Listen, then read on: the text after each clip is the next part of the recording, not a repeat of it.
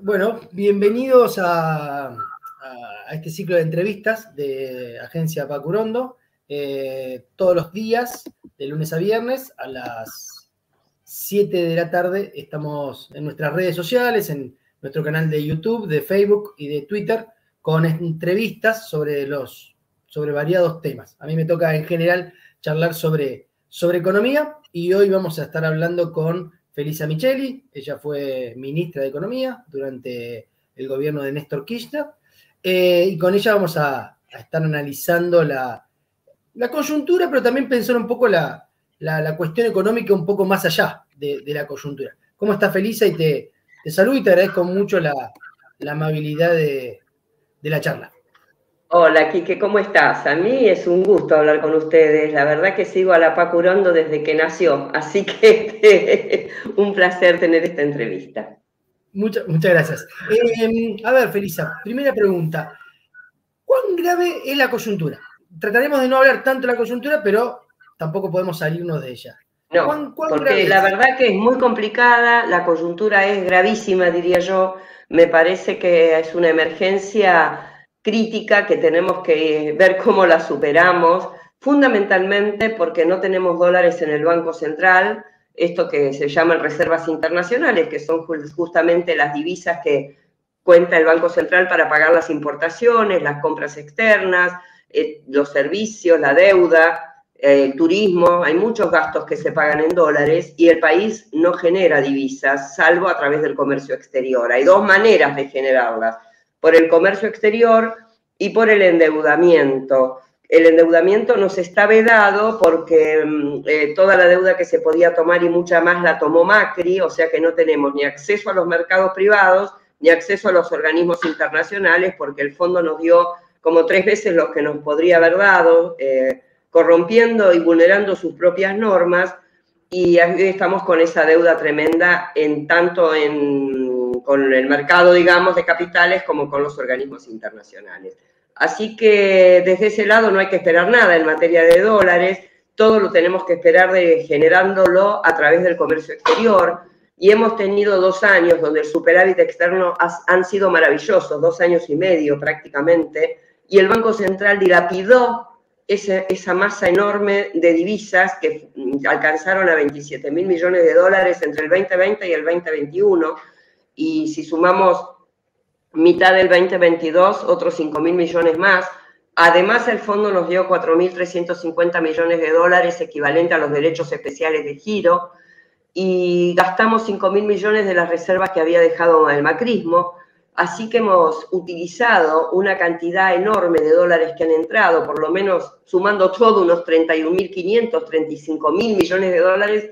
¿Y cómo puede ser que no tengamos un dólar en el Banco Central? Y no es la primera vez que pasa esto en esta gestión. Todos seguramente recordarán que el fin de enero, cuando el ministro Guzmán nos dijo que había que firmar sí o sí el acuerdo con el Fondo Monetario, lo dijo porque él pensaba que no había prácticamente posibilidades de mm, abrir el mercado cambiario. al día siguiente todos decían para eh, estar este, apoyando el acuerdo con el fondo, si no hay dólares no nos queda otro remedio. Y eso pasó en enero y muchos decíamos, mira, aunque en enero este, firmemos el acuerdo con el fondo, si no acumulan reservas, dentro de cuatro meses vamos a estar igual. Bueno, ahora son los cuatro meses y estamos igual o peor que en enero. O sea, entiendo que el gran problema es que el equipo económico mm, que había este, liderado Martín Guzmán nunca tomó esto como un problema serio, quizá por falta de experiencia, quizá por no haber vivido en la Argentina, y nos ha hecho vivir a los argentinos presiones devaluatorias que están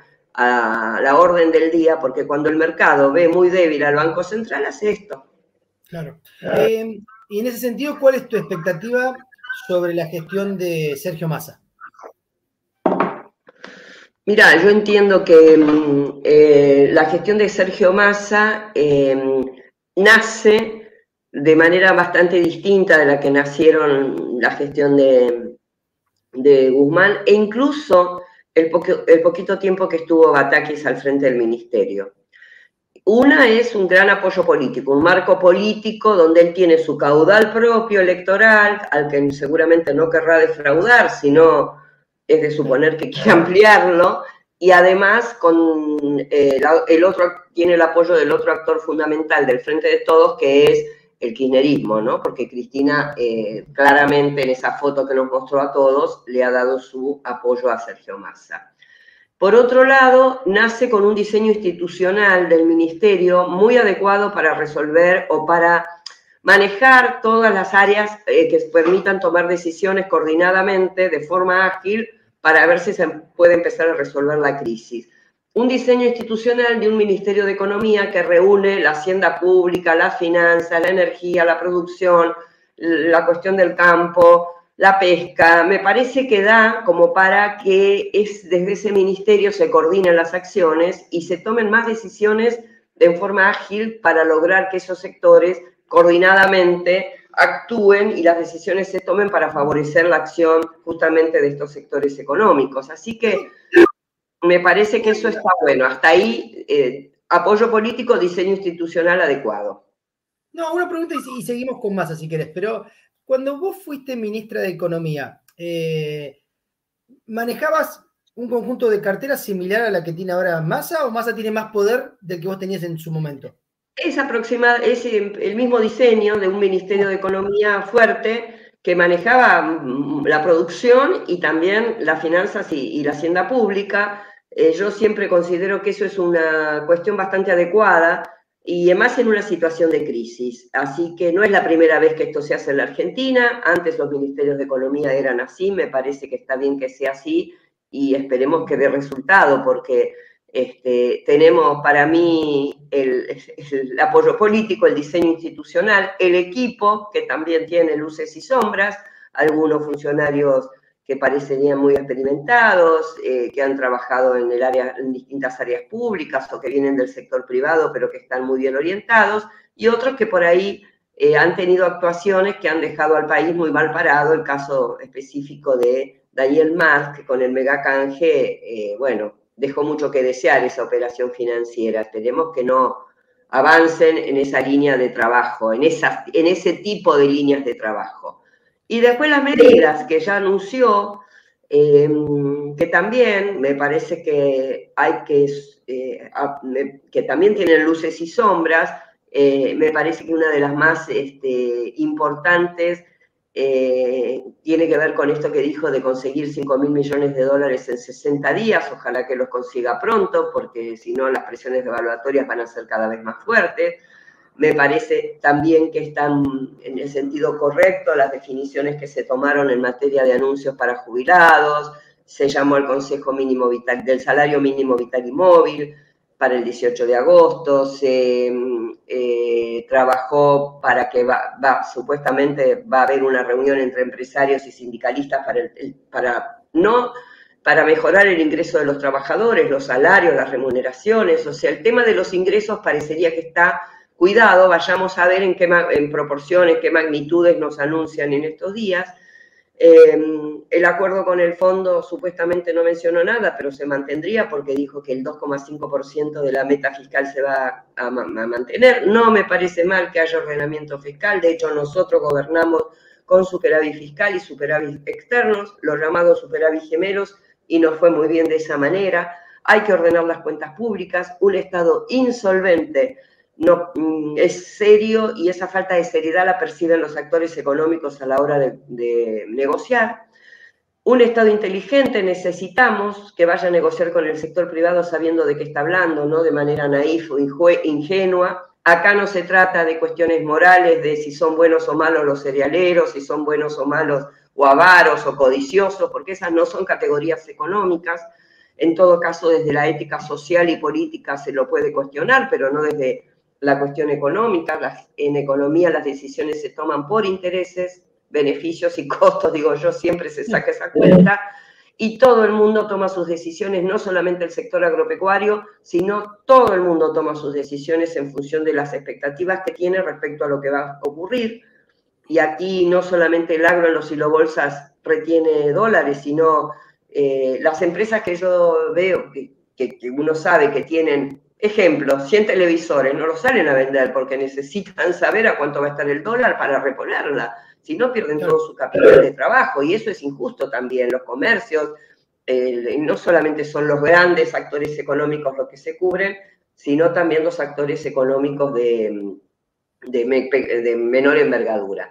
Así que yo creo que esta decisión de controlar o que ya manifestó que habían analizado las, las importaciones, esas operaciones que él mencionó, llevan a tener un Estado un poco más inteligente y más información a la hora de negociar con el sector privado. Pero decías, en relación a Massa un diseño institucional diferente y decías otro, otro poder político, ¿verdad? También por el respaldo del kirchnerismo. Pero en términos estrictamente económicos, ¿ves muchas diferencias en Massa en relación a o a Batakis? Porque pienso, que tres semanas no se puede juzgar una gestión, así que eso yo lo dejaría, lo compararía, porque una gestión económica tenés que tener eh, algún tipo de, posibilidades de, mostrar algún resultado para que se pueda ser evaluada, así que no la consideraría. Sí me animo a hacerlo con más, eh, entre Massa y Guzmán, en el sentido de, por ejemplo, la deuda que se reestructuró ayer en pesos del Tesoro esa era una situación caótica que debilita al Estado y lo ponía en una, en una situación de estar mendigando a los bancos que vayan a, las licitaciones de los bonos. En cambio, mm, más inteligentemente reperfiló esos vencimientos para más adelante. Esta situación ya me parece una diferencia importante. Massa puso énfasis en las reservas desde el primer momento. Guzmán parecía que no tuviese ninguna importancia ese tema. En fin, yo creo que puede haber eh, distinciones, eh, me parece que eh, lo vamos a ir viendo. Ha transcurrido una semana, tampoco se pueden sacar muchas conclusiones a lo largo de una semana de gestión, nada más. esperemos que tome el tema de la inflación, que es un gran tema pendiente. En hermano Guzmán nunca lo tomó.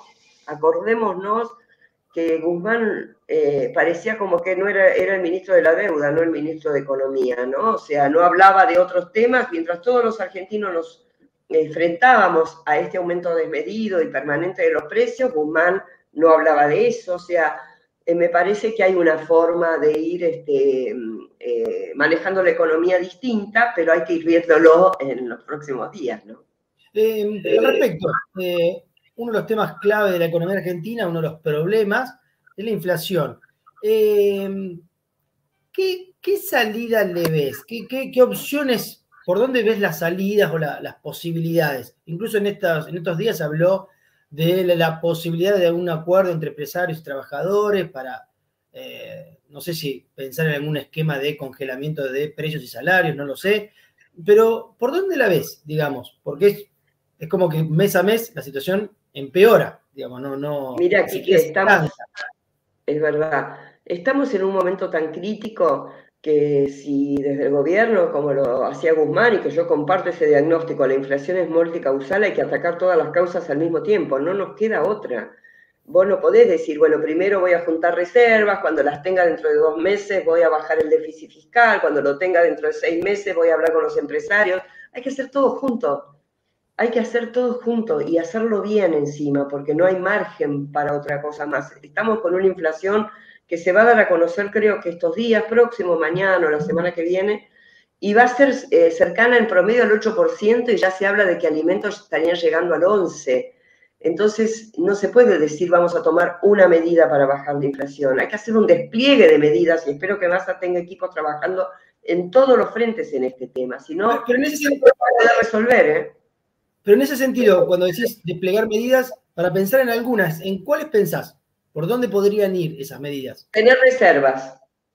Porque eso disminuye la presión devaluatoria. Cuando no hay expectativas de devaluación, los precios se aquietan, porque si hay expectativas de devaluación, los precios están todo el mundo remarcando, porque si no, después no van a poder reponer la mercadería que tienen en los estantes.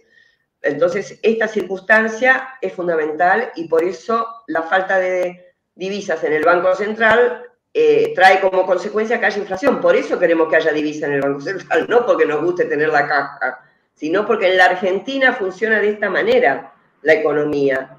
Cuando hay muchas reservas en el Banco Central, hay poca inflación, porque los actores económicos no remarcan en función de que no tienen expectativas. Uno, un punto uno. Punto dos, ordenamiento fiscal. O cuando lo digo en uno y dos eh, es porque no puedo decirlo todo junto, pero vuelvo a repetir, equipo uno trabajando en esto en simultánea con equipo dos trabajando en este ordenamiento fiscal.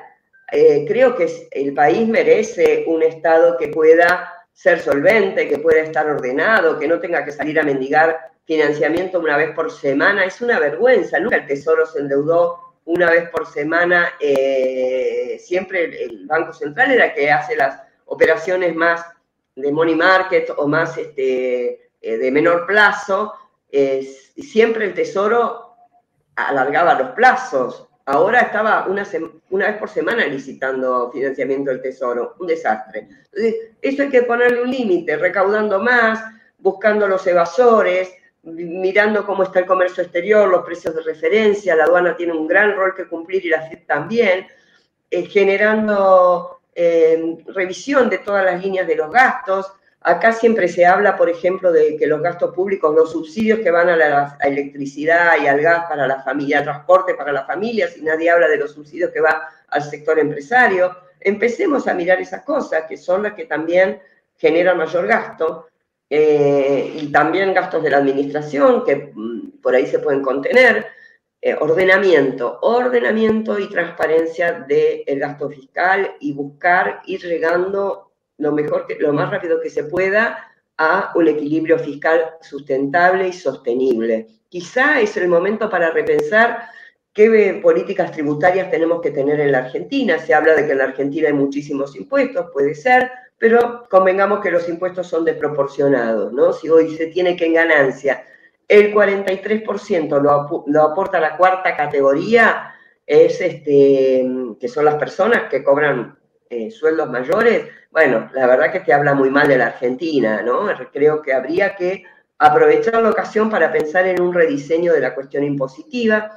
Eso de mediano y largo plazo. En el corto plazo, ordenamiento del gasto y eh, presión a la recaudación. No puede ser que en la economía argentina no solamente haya un PBI fuera del sistema financiero, porque hay este 407.512 millones de dólares eh, en lo que nosotros llamamos fuga de capitales, que algunos están en el exterior, pero otros están en los bancos, en, perdón, en las cajas de seguridad de los bancos o en los colchones, eso también es fuera del sistema financiero. Y si ese PBI estuviese haciendo funcionar la economía argentina, si esos 400 y pico mil millones de dólares estuviesen haciendo funcionar la economía argentina, la inflación sería la mitad, los salarios serían y las jubilaciones podrían ser el doble, porque habría muchísimas más posibilidades de recaudar. Pero además de eso, que ya se fugó, hay un 30 o 40% de la economía que funciona en negro. Y cuando digo esto no me refiero a los monotributistas, porque para que la, la, FIP lo entienda sobre todo, no estoy hablando de ir a controlar a los monotributistas a ese sector de la población que hace changas y no tiene más remedio que moverse en esa marginalidad. Me estoy refiriendo a instituciones establecidas. ¿Cuántas veces vamos a cenar nosotros a lugares donde no nos dan la factura? ¿Cuántas veces vamos a cargar nafta y nos preguntan si necesitamos o no factura? ¿Cuántas veces vamos de viaje en el turismo y en establecimientos que no te facturan tampoco? En fin, hay una necesidad y eso en cuanto a el comercio, eso que se dice salir a pescar fuera de la, fuera de la pecera. Vayamos a los grandes también negocios de esto que se menciona, de, toda la evasión que hay sobre el río Paraná, que creo que es por lo, primero donde deberían empezar, ¿no? Decías recién eh, los dólares que están fuera del sistema. Y hablabas al principio de que uno no tiene que caer en una cuestión moral para analizar los comportamientos económicos, sino una cuestión de, interés y de lógica. Eh, uno podría decir, bueno, esa plata está fuera del sistema porque el sistema no alienta, no genera incentivos para que esa plata esté adentro del sistema. En ese sentido, algunos economistas heterodoxos hablan de trabajar sobre la tasa, sobre una tasa real, para que permita generar más incentivos para que esos dólares se conviertan a pesos y no esta cosa que tiene la economía argentina donde los incentivos están al revés. Todo el mundo tiende a escapar del peso para ir al dólar. ¿Cómo ves esa discusión? La veo bien. Yo soy una de las convencidas de que otra de las cosas que le faltó a esta gestión económica que terminó con la ida de la renuncia desprolija y responsable de Guzmán y responsable de Guzmán, eh, tiene que ver con la falta de creatividad para encarar problemas. Nunca se pensó en estos dos años y medio que todos aquellos que van a comprar 200 dólares por mes, no es que quieren ahorrar en dólares, sino que no tienen más remedio, no hay otro instrumento de ahorro. Y aunque le, por ahí a esa gente, aunque le pongas la tasa altísima y por encima de la inflación, saben todos, pero sabemos todos por experiencia que quizá eh, eh, de un día para el otro el dólar salta tanto que se te come igual todo lo que ya, ya ganaste poniéndole una tasa alta. Eh, entonces, ¿por qué no hacer un poquito más creativo, pensar otros instrumentos? Nosotros habíamos analizado y habíamos propuesto la creación de instrumentos para el ahorro para la vivienda, donde la gente pudiese ahorrar y se respetase el valor metro cuadrado de la construcción. Eh, entonces, en vez de ir al dólar, se podría haber ido tranquilamente a esos instrumentos. ¿Por qué? Porque en la Argentina hay 3 millones de, déficit habitacional, 3 millones de, eh, de, viviendas faltantes. Entonces, este, me parece que eso tiene que ser, eh, el Estado tiene que brindar una solución y mucha de la gente que compra los 200 dólares es porque no puede hacer otra cosa y a lo mejor está ahorrando de a 200 dólares para en algún momento juntar algo que le permita entregar para después seguir pagando una vivienda y eso lo podría resolver el Estado bastante fácilmente, con un amplio plan de ahorro para la vivienda y de préstamo para la vivienda posterior, con las coberturas necesarias que puedan tener necesitar los bancos a través del Banco Central. El Banco Central, en vez de hacer tantas LELIC, ¿por qué no genera con esos fondos estructuras de, de administración fiduciaria, por ejemplo, que le permitan a los bancos encarar este tipo de operaciones. Me parece que hay tantas posibilidades en la Argentina, porque no es que no, no hay plata, la gente va y compra dólares. Acordémonos en la pandemia, eh, la gente no podía salir a, a ningún lado, no se iba a restaurantes, no se iban de viaje, nada. Obviamente que querían todos, hubo una avalancha de compra de dólares, hubo una avalancha del minorista comprando dólares o estás en tu casa, no, no podías ni llamar a un plomero para que te arregle algo, un pintor, no podías hacer nada con la plata. Esa avalancha, por supuesto que el Banco Central no la previó. si gobernan es anticiparse a los problemas, bueno, la gestión Guzmán, incluso la de PC, dejaron mucho que desear en ese sentido. Ellos no se dieron cuenta, con lo cual después de cuatro meses que estaban toda la gente comprando dólares y pasó este, vos pensás que si hay un millón de personas comprando 200 dólares, ahí tenés 200 millones de dólares por mes que se te van solo en eso. Este, eh, y, hubo, casi llegó a 5 millones en un momento. Por mes, 200, o vamos a suponer esos cuatro meses, hubo un promedio de 400 millones de dólares. Si esa tendencia seguía, solo 5 mil millones de dólares se lo llevaba la gente en su, de a 200 dólares y no fueron las únicas ideas que se les ocurren es cada vez eh, poner más medidas restrictivas y así no va a funcionar nunca. Hay que dar otras soluciones. Ellos este, no previeron esto y recién el 20 y pico de fin de septiembre del 2020 eh, pusieron más restricciones. Eh, decidieron que los que cobraban el IFE no pudiesen comprar dólares, bla, bla, bla. Hicieron un reacomodamiento de restricciones pero nadie se esforzó por pensar, bueno, ¿y qué le, si le ponemos, proponemos a la gente que compre todos los meses durante dos años, ahorre y después le damos un crédito a la vivienda en tales características que se ajuste por el metro cuadrado? Bueno, hay que pensarlo, ¿no? El tema de las LELIX, están ahí, es un efectivo mínimo remunerado para que ganen los bancos, nada más que eso, no tiene otra función, genera un costo altísimo para todos nosotros eso no es neutro en materia distributiva, eso impide una mejor distribución del ingreso. Y sin embargo se hace, se viene haciendo y se viene agrandando. ¿Por qué no se libera esa parcialmente, de a poco, para no hacer un estrago en la economía en materia monetaria, de a poco, combinadamente con lo, que, lo menos que va emitiendo el Banco Central para el Tesoro, para que no tenga un efecto expansivo tan grande y se utilizan esos fondos para el financiamiento de actividades productivas, de la vivienda, vuelvo a repetir, en fin, necesidades hay, lo que pasa es que acá parece que siempre hay que repetir el mismo tipo de esquema y no avanzar en dar otras soluciones que son tan necesarias. Eh, agradezco mucho la, conversación, estamos hablando con Felisa Micheli.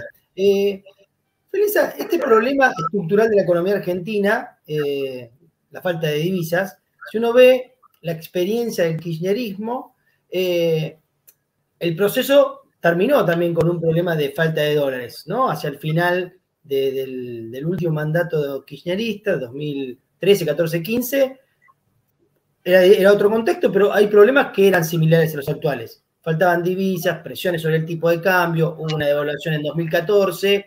Eh, cuál es el problema, si se quiere, más estructural para pensar? Porque pasan muchas gestiones diferentes, de diferentes perfiles, con diferentes resultados económicos, también, pero la cuestión de las divisas es un problema que Argentina ya arrastra de por lo, hace por lo menos 11 años, más o menos.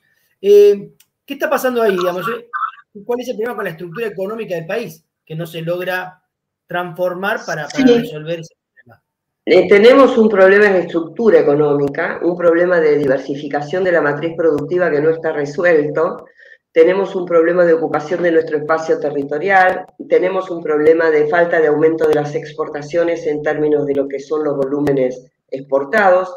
los saldos comerciales más ambiciosos que nosotros podemos esperar son de 10 mil millones de dólares a 15 mil, eso es lo máximo, restringiendo a veces importaciones, y eso hoy no alcanza para nada. Vos pensemos, no sé, eh, Brasil exporta casi 400, 300 y pico mil millones de dólares e importa 170 y le quedan 120 o 130 mil millones de dólares por año de reservas, o sea, de superávit comercial. Después lo usan en distintas cosas, ¿no? Reservas engrosan de esa manera. Entonces nosotros tenemos ese problema. No hay eh, un pensamiento, un programa, un trabajo que nos lleve a... Eh, definir sectores estratégicos, que nos lleve a definir cuáles son los este, problemas que tenemos que ir resolviendo, que nos hagan salir del proceso inflacionario, que es otro problema estructural que también tenemos. Eh, no se resuelve solo con este ordenamiento para la coyuntura que estábamos hablando recién, requiere una, una, este, una cuestión más eh, profunda que nunca se encaró, desde el 60 a los 60, que con el gobierno de Ilia existía el CONADE, que era el Consejo Nacional de Desarrollo, nunca se pensó más la Argentina de mediano y a largo plazo. Eh, los planes incluso de logística, transporte, comunicaciones se hacen porque a uno se le ocurre que estaría bueno volver a tener el ferrocarril, pero no, se no están enmarcados en un plan de mejoramiento de la productividad y de la competitividad de la economía argentina falta todo eso. no es un momento hoy para hacerlo porque nadie, eh, nadie cree en que se pueda hacer algo o parecería ocioso hablar de esas cuestiones en el marco de la crisis tremenda que estamos viviendo. Está bueno que se haga, que las universidades aporten en torno a eso, estaría buenísimo, pero no se está haciendo. Y hoy lo escuchaba, o nada, leía en el diario que el gobernador Morales, refiriéndose a una respuesta, a una crítica que había hecho Carrió había mencionado, habían dicho, este, bueno, nosotros acá estamos trabajando muy bien, tenemos 43 empresas que están explotando el litio en Jujuy. Y uno se pregunta que qué son esas 43 empresas, para qué es el litio, para que se lo lleven así a paladas y en containers. ¿Alguien está pensando en cómo se va a desarrollar ese mineral estratégico de aquí a los próximos 50, 80 años, que Argentina es uno de los máximos Em, canteras que existen en el mundo.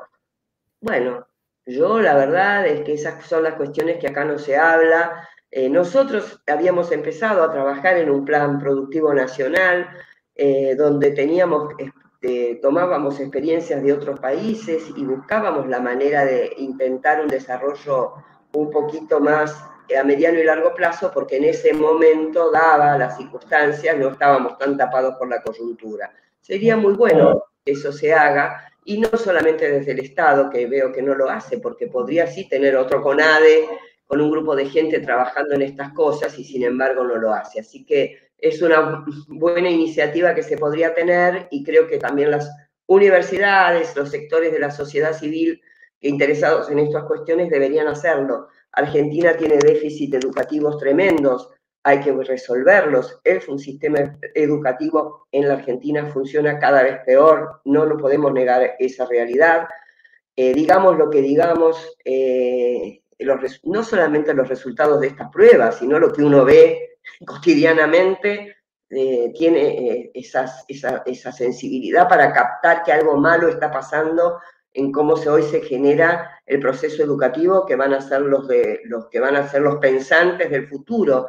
Hay esta, esta separación de la Argentina como en dos grandes este, áreas o sectores sociales o, círculos de desarrollo, como decían los eh, teóricos de la teoría de la dependencia, ¿no? que en los países nuestros en algún momento se termina por por haber una separación social donde hay círculos de consumo separados. Unos vamos a los shoppings y otros a las saladitas.